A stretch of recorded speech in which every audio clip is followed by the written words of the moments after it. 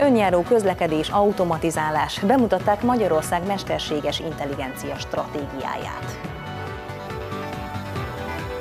Ünnepi szenátusi ülés maszkban az egyetem főépülete előtt tartották a tanévnyitót.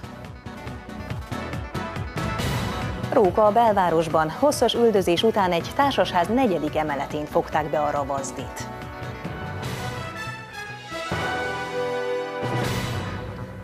Köszöntöm Önöket, ez a Debrecen Televízió híradója, a Napszemle. Szeptember 8-a kedd van, már is mondjuk a legfrissebb helyi híreket.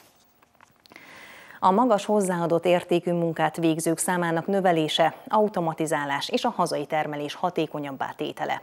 Ezek a legfontosabb céljai a most elfogadott mesterséges intelligencia stratégiának. A cselekvési tervet Palkovics László innovációs és technológiai miniszter jelenlétében mutatták be a Debreceni Egyetemen.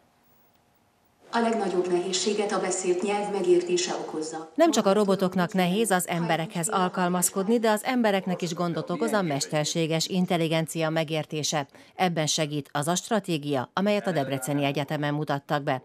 Kósa Lajos országgyűlési képviselő köszöntőjében azt mondta, ennek a területnek a főváros mellett Debrecen lesz az egyik centruma. A városban lesz ugyanis a Magyar Mesterséges Intelligencia Központ egyik része és a Nemzeti Adatügynökség elemző központja is. Olyan jelentőségű, amit most nehezen tudunk felmérni, de majdnem biztosak lehetünk abban, hogy Debrecen ezzel a 21. század jövőbe vezető országútjára lép. Magyarország mesterséges intelligencia stratégiája másfél év alatt készült el tudósok és a piaci szereplők bevonásával. Palkovics László a bemutatón úgy fogalmazott, ez a cselekvési terv a legszélesebb körben tartalmazza, hogy mely ágazatoknak hogyan kell felkészülniük a mesterséges intelligencia fejlesztésére, illetve alkalmazására. Az innovációs és technológiai miniszter ismertette a stratégia három fő célját. Az első, hogy egy millió ember találjon nagyobb hozzáadott értékű munkát az elkövetkező tíz évben Magyarországon. A második, növeljük Magyarország eh, hazai össztermékét az MI segítségével 15%-kal. Harmadik pedig a magyar KKV-k esetén az ő termelékenységét szeretnénk 26%-kal eh, növelni. A stratégia hét olyan területet is megjelöl, ahol a mesterséges intelligencia már most jelen van, és meghatározza a hétköznapokat. A következő tíz évben pedig jelentősen növelnék felhasználásukat. Ezek közé tartozik egyebek mellett az önjáró közlekedés és a zöld energiát felhasználó hálózatok fejlesztése, illetve az ügyfélszolgálatok automatizálása. Legyünk elsők Európában az autonóm közlekedés fejlesztésében és tesztelésében legalább 3 millió embert szolgáljanak az integrált digitális egészségügyrendszer által támogatott szolgáltatások. Legalább 32%-kal csökkenjen az ammónia kibocsátás az agráriumban. A cselekvési tervben az is szerepel, hogy 2030-ig legalább két és fél millióan részesüljenek mesterséges intelligencia által támogatott oktatásban, és az ügyfélszolgálati ügyek 60%-a automatizált legyen. A világgazdaság meghatározó szektorai várják a Debreceni Egyetem frissen végzett hallgatóit a városban és a régióban. Hangzott el a Felsőoktatási Intézmény mai tanévnyitóján, amit most rendhagyó módon a főépület előtti téren tartottak. A fél év jelenléti normál oktatási rendben kezdődik. Az ünnepi szenátusi ülésen az egyetem vezetői a járványügyi helyzet kapcsán hozott óvintézkedések betartására is felhívták a hallgatók figyelmét a Debreceni Egyetem első éves hallgatója. Fogadom. Fogadom. Rendhagyó körülmények között maszkban tették le fogadalmukat az első évesek. Velük együtt csak nem 31 ezer hallgató kezdte meg tanulmányait a Debreceni Egyetemen. Orandó et laborandó, ezt tanulják meg, ezt minden debreceni diáknak tudni kell imádkozva és dolgozva. Így dolgoztak több száz éven keresztül a debreceni diákok, mondta az intézmény rektora.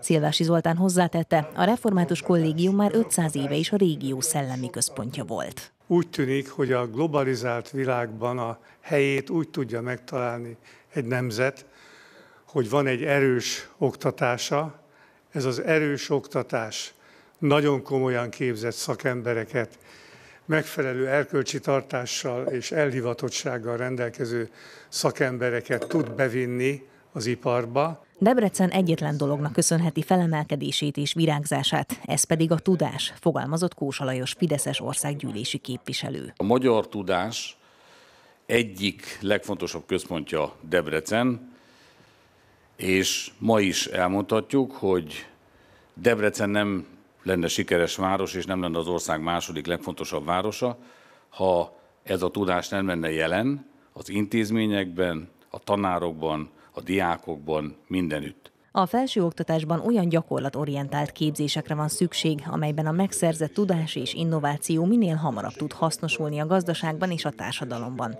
Erről már Palkovics László innovációs és technológiai miniszter beszélt. Ezért az egyetem stratégián kettős célja, hogy ne csak minél több hallgatót, de minél jobb képzettségű munkavállalót neveljen ki, aki már az egyetem kapuin belül gyakorlattal és tapasztalattal lett fejfegyverezve. Ezt a célt követve kezdtük el a felsőoktatási képzést összehangolni a gazdaság igényeivel. 2015-ben bevezettük a felsőfokú duális képzést. A Debreceni Egyetem már több mint száz céggel áll partneri kapcsolatban. Paplászló polgármester beszédében kiemelte, Debrecen olyan várossá vált, amely képes a világgazdaság legmeghatározóbb szektorainak vállalatait karnyújtásnyira hozni a végzett hallgatóknak. Az elmúlt évek gazdaságfejlesztési sikereinek köszönhetően a világ nagyvállalatai közül számosak kínálnak majd életre szóló karrier lehetőséget itt helyben, amelyhez az első lépéseket az egyetem és a gazdasági szereplők között kialakult kapcsolatok révén már az egyetemi évek alatt megtehetik. A járványügyi helyzet kapcsán az ünnepi szenátusi ülésen is felhívták a hallgatók figyelmét a szociális távolságtartás és a készfertőtlenítés fontosságára. A koronavírus járvány ellenére hatalmas lendületet adott a városi turizmusnak az újonnan átadott Aquaticum Debrecen strand. A Magyar Fürdőszövetség országos felmérése azonban azt mutatja, hogy a fürdőhelyek idén átlagosan 40%-os bevétel kieséssel számolnak. A szervezet ma kezdődött őszi közgyűlésén azt emelték ki, hogy szükség van a kormány támogatására, ahhoz, hogy az ágazatban meg tudják védeni a munkahelyeket. Több mint 150 ezeren látogattak el nyár elejé megnyitása óta Debrecen új vízi élménykomplexumába a Nagy Erdei strandra. A hozzá tartozó szálloda megnyitása óta nem produkált olyan foglalási adatokat, mint júliusban. A városban a turizmus több lábon áll, és a fejlesztések tovább folytatódnak. Erről már Pap László beszélt a Magyar Fürdőszövetség közgyűlésén. A polgármester azt mondta, a befektetők igénylik a minőségi szálláshelyeket, emiatt több szállodafejlesztés is elindul a városban.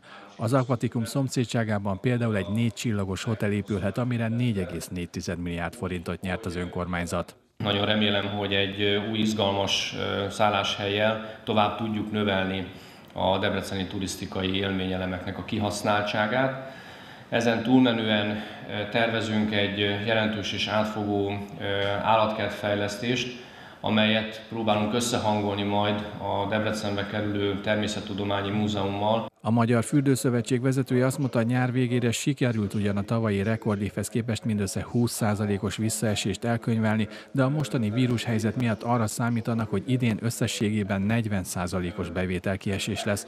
Hozzátette, ezt semmilyen gazdasági társaság nem tudja drasztikus gazdasági intézkedések meghozatala vagy külső forrás bevonás nélkül túlélni annak érdekében, hogy a jövő nyárig eljussanak ezek a létesítmények, és nagyon nagy lobby tevékenységbe kezdünk, illetve még magasabb fokozatra fogjuk tekerni a lobbygépünket annak érdekében, hogy a kormányzat oldaláról annak a 18 ezer munkahelynek a megtartásában kapjunk segítséget, amit ma a fürdőágazat foglalkoztat. A Magyar Turisztikai Ügynökség vezérigazgató helyettese azt emelte ki, hogy ebben a nehéz időszakban 1,4 millió magyart fogadtak a szálláshelyek. Ez a tavalyi rekordévet is meghaladja 15 kal emellett újabb marketing kampányba kezdenek. Napokon belül elindul egy olyan országos kampány, amelynek egyetlen célja, hogy a belföldnek folyamatosan azt a hitét erősítse, hogy menjünk belföldön pihenni, járjunk a belföldi fürdőkben, tervezzünk belföldön októberre, novemberre, de még decemberre is. A tervek szerint a következő Európai Uniós ciklusban 100 milliárd forintos átfogó fürdőfejlesztési program indul Magyarországon. Nagyobb költségvetési támogatást akar a városnak Herperger Róbert. A Jobbik Debreceni alelnöke a klinikák előtt tartott tájékoztatóján ismertette az állami költségvetés módosításához kapcsolódó kérdéseit, indítványait. Herperger Róbert az egészségügy kapcsán azt tudakolta, hogy a kormány mit tesz azért, hogy ne legyen sorbanállás a képalkotó, azaz a CT és MR vizsgálatokra. Felvetette a szemétkommandó létrehozásának ötletét is. Elképzelése szerint ők érhetnék tetten az illegális szemetelőket. Az ellenzéki párt politikusa szorgalmazta a debreceni rendőrkapitányságon dolgozók munkakörülményeinek javítását is. Herperger Robert hangsúlyozta, indítványaival nem a város költségvetését szeretné terhelni, hanem az államot akarja jelentősebb költségvetési támogatásra késztetni. Kupakgyűjtő szívet adtak át kedden a Debreceni Egyetem gyermekhematológiai és onkológiai tanszék előtt. Még csak most helyezték ki a gyűjtőt, de már is raktak bele kupakokat. Ezt a szívet adományozta a TVG Nádudvar Kft., illetve a város önkormányzata a leukémiás gyermekekért alapítványnak. A szervezet a Malon Parkban eddig is gyűjtötte a műanyag kupakokat, ami azért fontos, mert az ezek után befolyt összegből segíteni tudják az általuk támogatott családokat.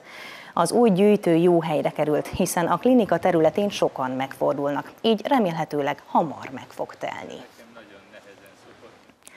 Kézművesség, hagyományőrzés, interaktív programok. Ezzel is várják majd az érdeklődőket a Debreceni Kézműves Fesztiválon, ami egyben a 11. Nemzetközi Fazekas Fesztivál pótló rendezvénye is. A programok pénteken kezdődnek. A helyszín ezúttal is a Csapó utcai sétáló övezet lesz.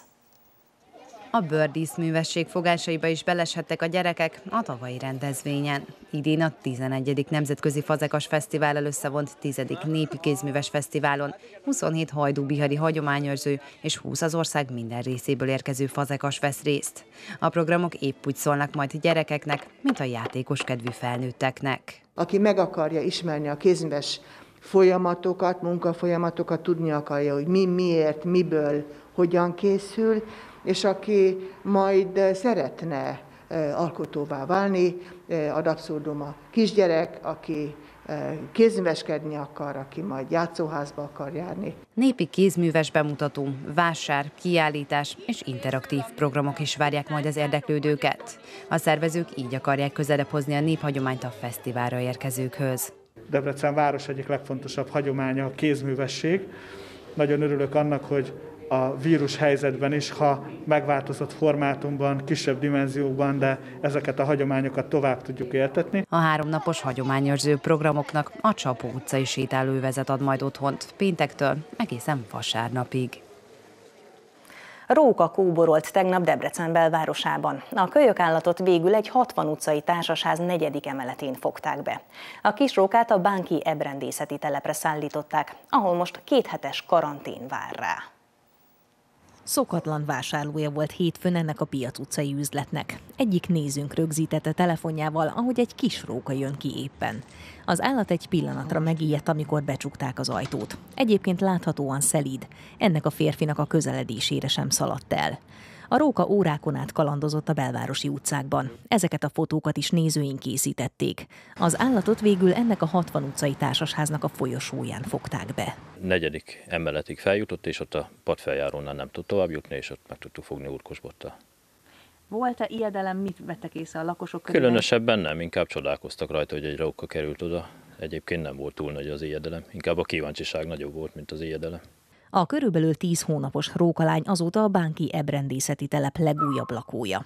Az itteni gondoskodásnak köszönhetően jól van. Naponta kétszer eszik nyers kacsahúst. A vadállatra most két hét vezetségi megfigyelés vár annak a vadásztárságnak, vagy vadászatra jogosultnak helyesebben, mert nem biztos, hogy ez társaság, a tulajdona ez a vadon élő állat, amelyiknek a területéről származik. Ha ez nem állapítható meg, ugye itt nem, fogjuk, nem tudjuk megmondani, hogy most a nagy erdőről vagy, vagy kismacs felől jött be a városba ez a róka, akkor annak a, vadá, annak a vadászatra jogosultnak, amelyik a, ehhez a területhez a legközelebb esik. Debrecenben egyébként júniusban is fogtak egy rókát. A szerencsétlenül járt állat fejére akkor egy műanyag palackból készített madáretető szorult. A gyors orvosi beavatkozásnak köszönhetően ő is megmenekült. A rókák esetében mindig óvatosnak kell lenni, nem szabad simogatni, mert szerítségük veszettségre utalhat.